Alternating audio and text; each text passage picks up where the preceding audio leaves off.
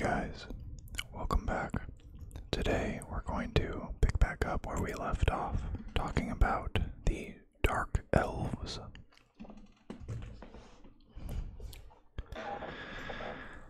Hag Graef, the Dark Crag. The Dark Crag is a sinister and foreboding place, built at the bottom of a cold, dark canyon and completely surrounded by mountains of bare rock that stretch into the clouds. It is a city permanently in shadow, for no sunlight ever reaches its walls.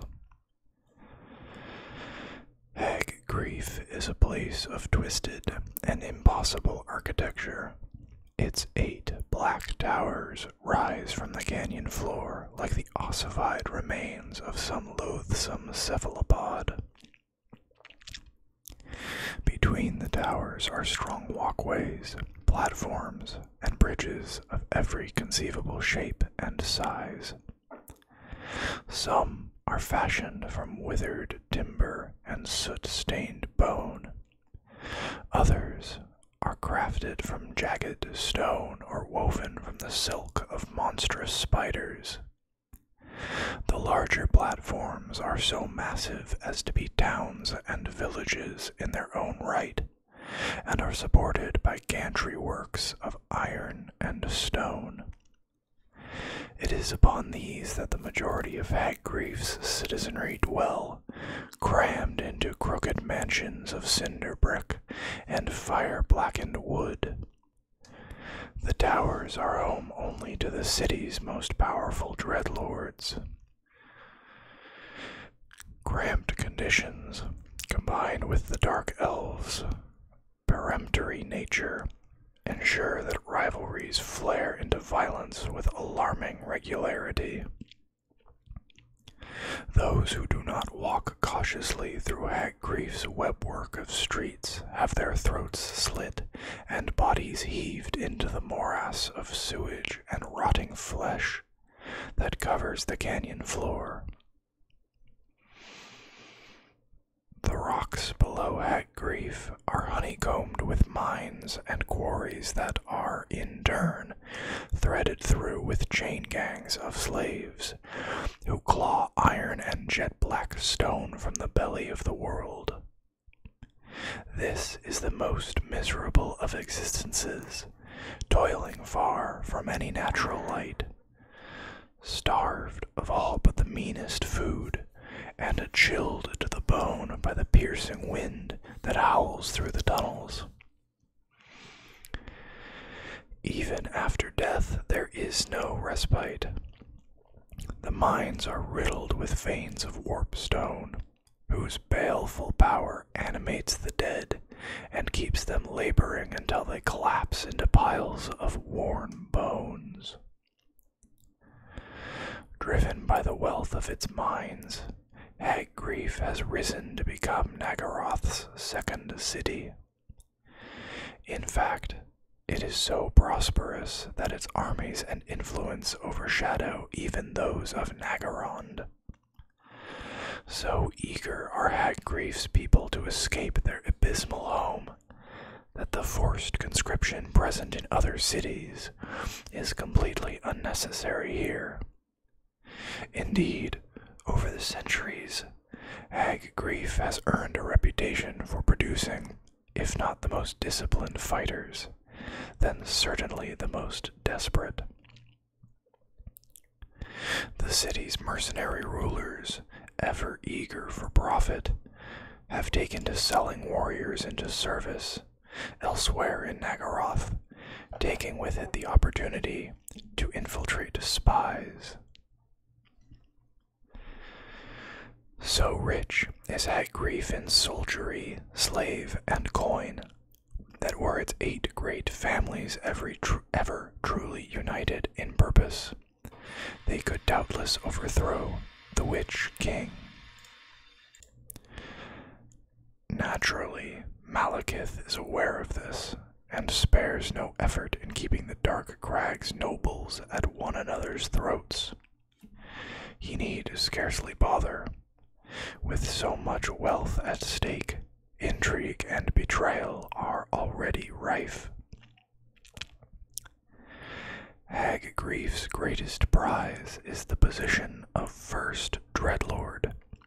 He who holds this title is the nominal ruler of the city and all its domains. The first Dreadlord sets the tariffs that govern the city's trade and is in an excellent position to take a cut of all merchantry.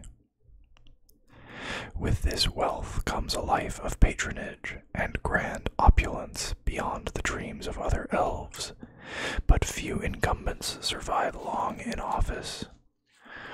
Indeed, many of Hag Graef's social elite consider the lavish ceremony of ascension to be little more than the official opening of a new round in a particularly deadly game.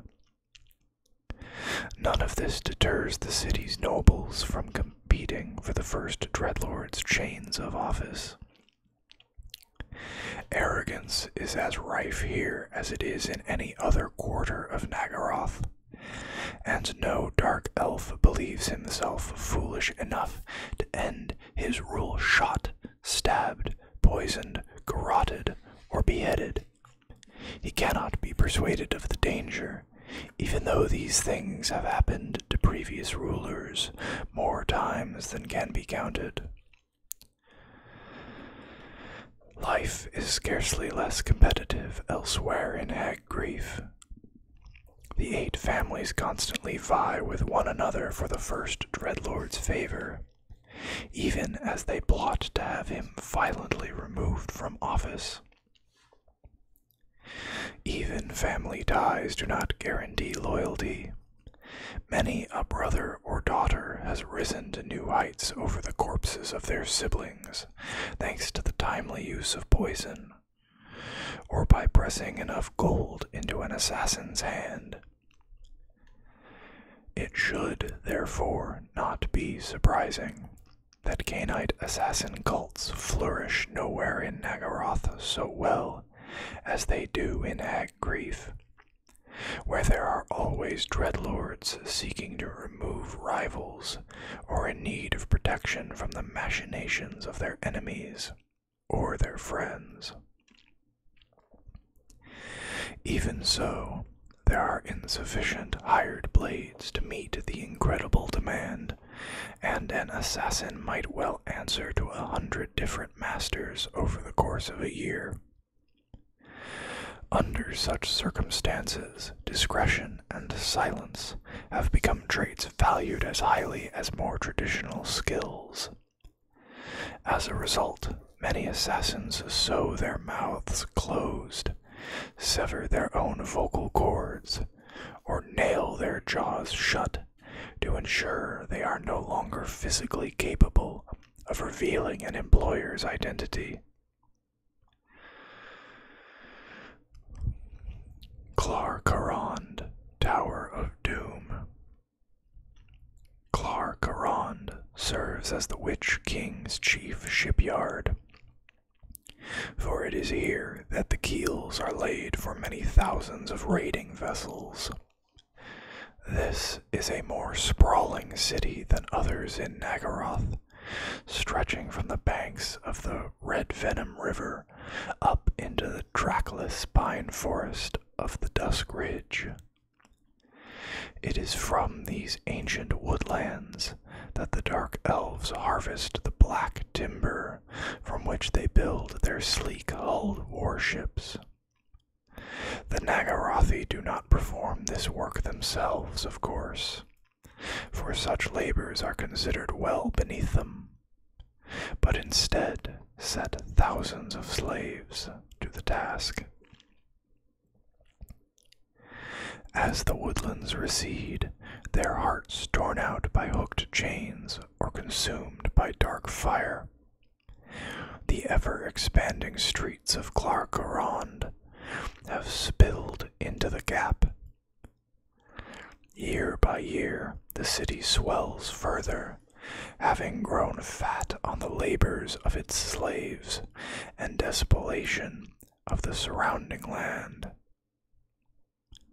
Once there was but one great tower looking over the Red Venom River. Now Muskridge bristles with jagged minarets. With each wave of expansion, new ramparts have been raised not only to protect the city as a whole, but also to defend each tower from its neighbors.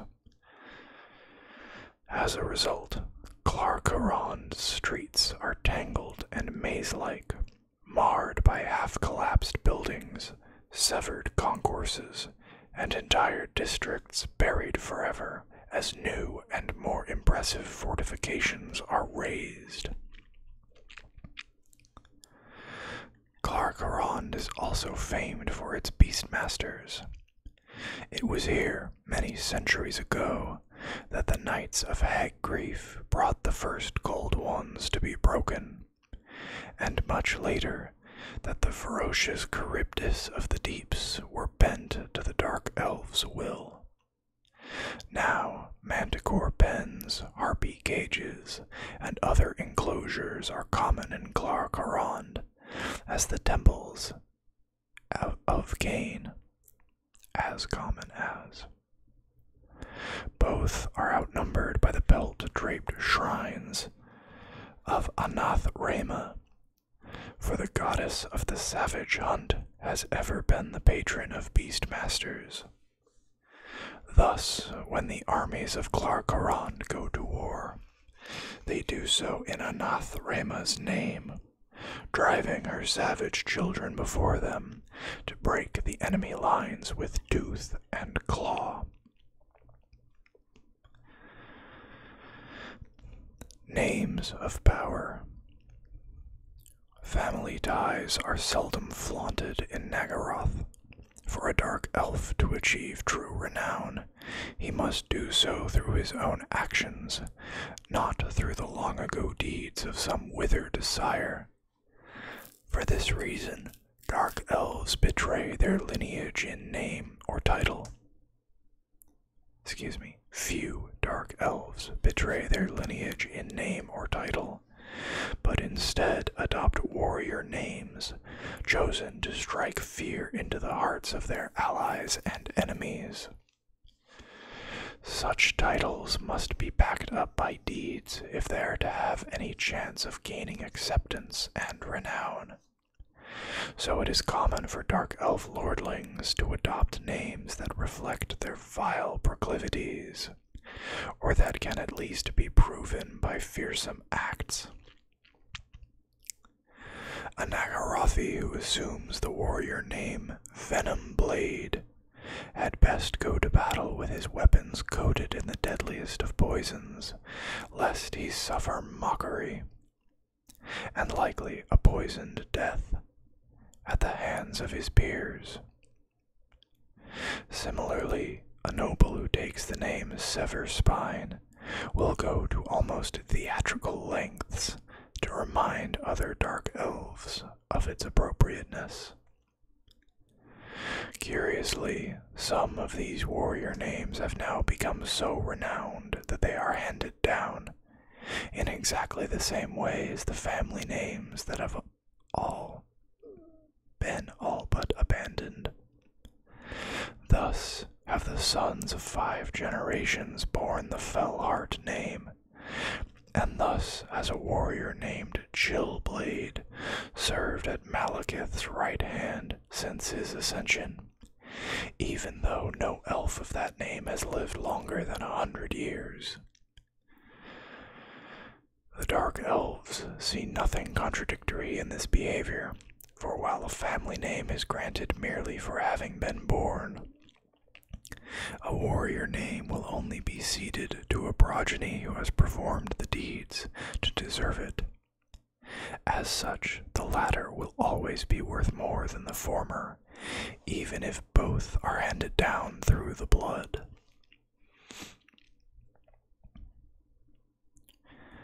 The Underworld Sea. For hundreds of years, the Dark Elf raiding fleets were confined to the Sea of Chaos and the Great Ocean. They then discovered the Underworld Sea, a huge underground water system that linked the Sea of Chaos to Naggaroth's western coast. The underworld sea is a treacherous place consisting of labyrinthine mazes of dark tunnels and strange caves.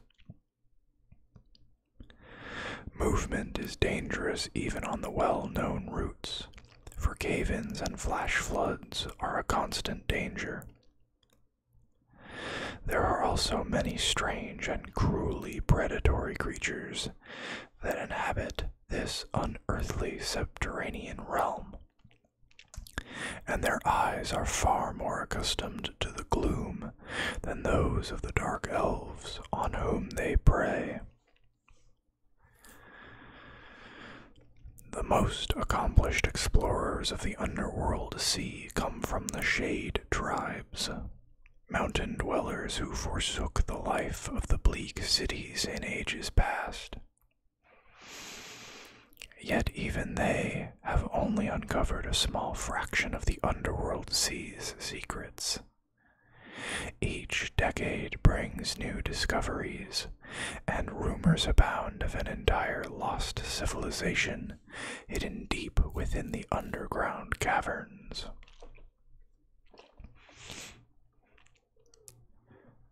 Har Kaldra, the Forgotten City. Har Kaldra was once a mighty fortress that dominated the landward passes between Naggarond and the Iron Frost Glacier. Now it is a scarred and ruined crater, surrounded by the outflung remnants of its own walls, a testament to Malekith's fickle rage. It was the Witch King that wrought Har Kaldra's ruin, meeting the rebellion within its walls with all the sorcerous might at his command. Thousands perished in that one night of horror and fury, and thousands more were taken bondage to Naggarond, there to die in its fire pits and gladiatorial arenas. The Watchtowers. Naggaroth is a land in little danger of invasion. Few enemy fleets survive more than a few hours in its corsair infested waters, let alone long enough to close with the jagged coast and land troops. The only real dangers come from the Lustrian legions to the south and the hordes of chaos that roam the frozen wastelands to the north.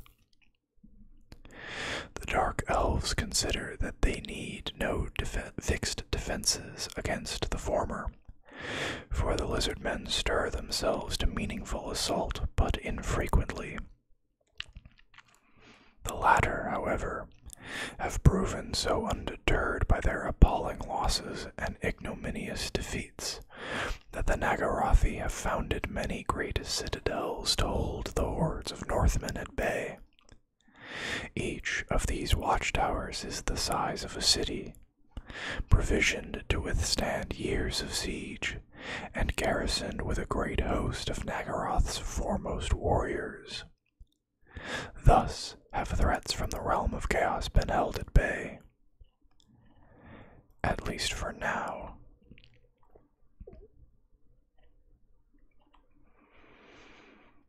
Annals of the Black Tower.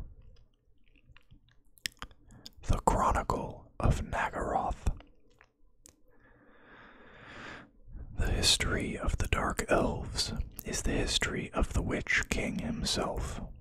Without his long remembered insurrection against the Callow Phoenix Kings, there would be no kingdom of Naggaroth and no dark elf race to rule it. Malekith's long reign has been one of blood and terror, of iron fisted rule backed by assassination and subterfuge. His will and his will alone guides the Naggarothi onwards to their dark destiny. The Witch King may court the opinions of the dread lords who bask in his reflected glory, but only when it amuses him to do so. Only Morathi's sibilant voice does he heed, and then always with an ear alert to deception. Even the eldest of his other courtiers has strode the world for but a fraction of Malekith's existence, and the Witch King hangs upon their words no more than he would consider the counsel of a clever child.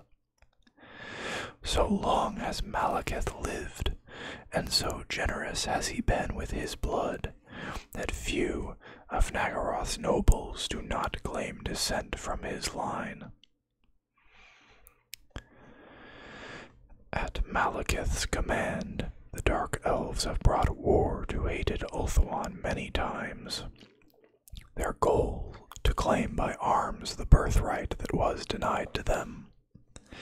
Time and again, the Witch King's armies bring ruin beyond imagination upon their hated foes, only to be cast back across the Western Ocean through the vicissitudes of fate. I don't think I've ever heard that word before. To a mortal ruler, even one such defeat would be a tragedy, the undoing of a lifetime's work. For Malekith, who long ago achieved immortality, they are but setbacks that create fresh opportunities. When brute force failed, the Witch King sent infiltrators and assassins to undermine Ulthuan from within. When subversion did not yield lasting results, Malekith reached out to other realms, bribing their armies to make war in his cause. To date, Ulthuan has endured every attack, but has each time paid for its survival with slaughtered warriors and ravaged kingdoms. Yet it will not be able to do so forever. The fires of war have left Ulthuan scarred. Serve. Excuse me. The fires of war that have left Ulthuan scarred serve only to temper the Witch King into ever more powerful forms. From every defeat, Malekith emerges stronger than before, and ever more determined to triumph. Where the high elves despair for each of their warriors that falls, the Witch King spends the lives of his followers without care for their survival. They are the weapons of his vengeance, nothing more. Soon there will come a time when the High Elves cannot meet the blood price that Malekith's hatred demands. On that day, the Witch King will finally know lasting victory, and the High Elves will be obliterated once and for all. The Dark Epochs. Having known only the guidance of Malekith's firm hand, the Dark Elves cannot reckon time according to the rule of kings, as is the custom with the High Elves. Rather, they record the great epochs of the Witch King's rule, ages of the world that turn on deeds of fire and slaughter. Only the first of these epochs, the Age of Glory, tallies exactly with the rule of a Phoenix King. Aenarion was father to both the children of Ulthuan and Naggaroth, Naggaroth, and is revered as such in both lands. Other ages might end in conjunction with the close of a Phoenix King's reign, but only in order to celebrate his death. The Dark Elf calendar contains four seasons, though they are not founded in changeable weather. Bleak Naggaroth is ever cold and racked with storms, no matter the time of year. Dark elves therefore dedicate the seasons blood, despair, decadence, and savagery to their four most worshipped deities, respectively Khaine, Ereth Khial, Arathi, and Anath Raema. In Naggaroth, dates are therefore recorded by age, then year, then season, and finally the day, though the latter two are seldom used in regard to momentous occasions.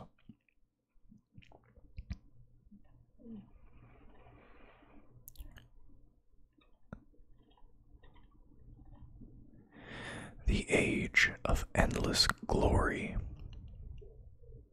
1 to 80 Imperial Calendar circa minus 4, 4500 to minus 4419. The elves were once but a single race that lived in peace and contentment amidst the paradise of Ulthuan. Alas, nothing endures forever, and this proved true of that golden age. When the great star gates of the Old Ones collapsed, a cataclysmic rent was torn in reality that allowed a tide, tide of demons to sweep across the globe, leaving slaughter and destruction in their wake. The elves were defenseless against this onslaught, untouched as they were by the depravities of war. Yet from the blood and slaughter emerged the greatest elf hero to have ever walked the world Aenarion. In him the mightiest warrior spirit was kindled, and it was he who rallied the elves and taught them the ways of war. Though Aenarion and his growing band of warriors fought ceaselessly and without fear, the demon horde was unending.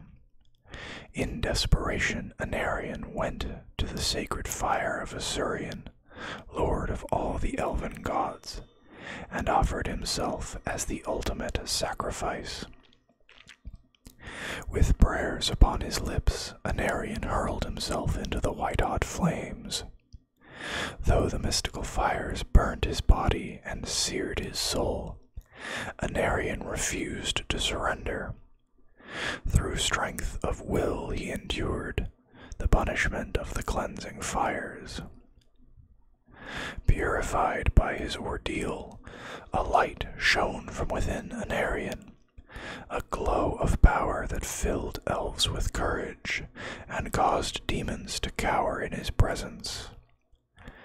Soon he was hailed as the Phoenix King, the reborn son of Asuryan. As Aenarion's army swelled, the tide of war changed in the elves' favor. It was at this time that Aenarion met with the first of the dragon tamers, the powerful mage Caledor. The two saw the strength that existed in each other and shared a common purpose. Caledor recognized the sacred blessing bestowed upon Aenarion and swore fealty to the Phoenix King. Yet for all the strength of the united elven host, it remained insufficient to,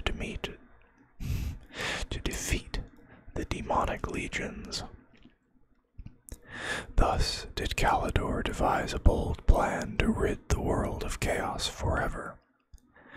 The dragon tamer and his mages would create a vortex to siphon away the magical power of the demons and return it to the realm of chaos. Aenarion cursed Caledor for a fool, deeming such a tactic to be the most desperate folly. The Doom of Khaine.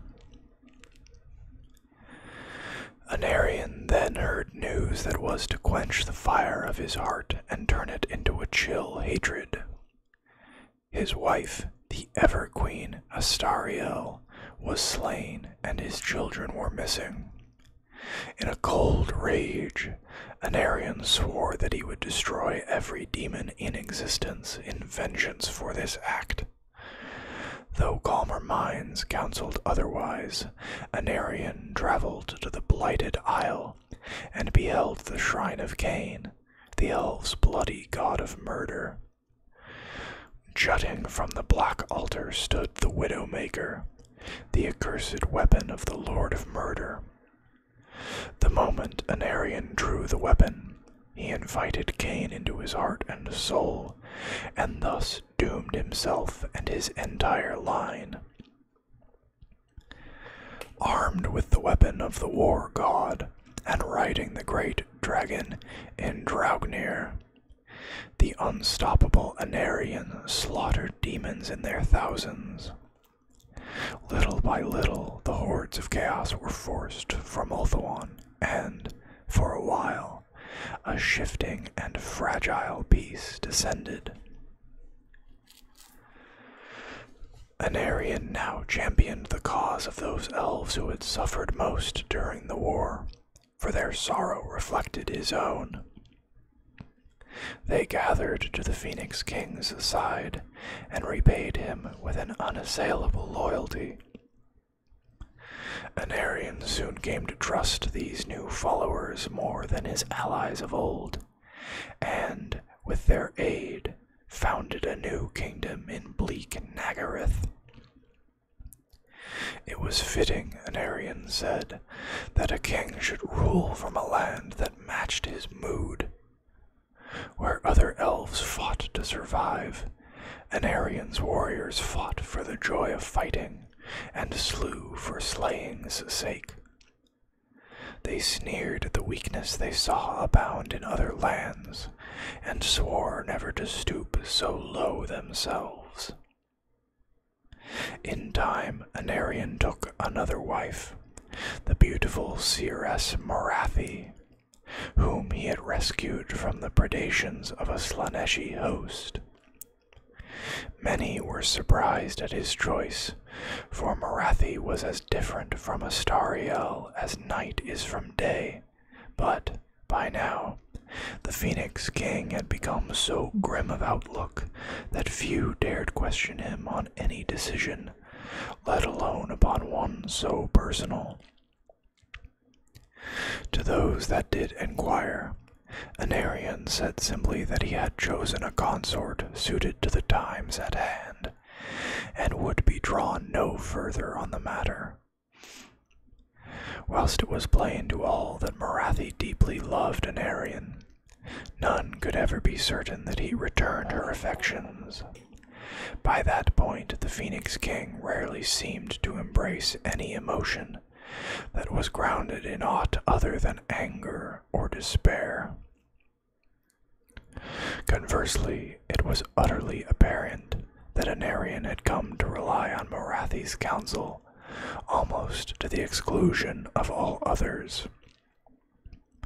With each year that passed, her influence became ever more evident in every decision he made. The elves of other lands looked upon this development with increasing levels of concern, but the folk of Nagarythe cared not, for they loved Morathi almost as dearly as they did their king. In time, Morathi bore Aenarion a fine son and heir, whom they named Malekith. The young prince had inherited all the many gifts of his parents, and under their tutelage became not only an accomplished warrior and skilled mage, but also a leader of great quality. The court of Aenarion had become a wild place, full of savage gaiety and bitter mirth. By then, few in Nagarythe believed it was even possible to win a lasting victory against the demons, so they took what joy they could in every moment. Not every outlet of their indulgence was entirely wholesome, however. Hunting, dueling, and other blood sports became increasingly common, and rumors abound of sacrifices to forbidden gods.